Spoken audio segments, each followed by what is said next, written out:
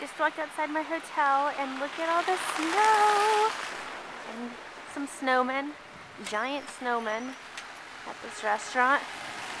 There's another one. I want to go play in it. It's awesome and kind of cold.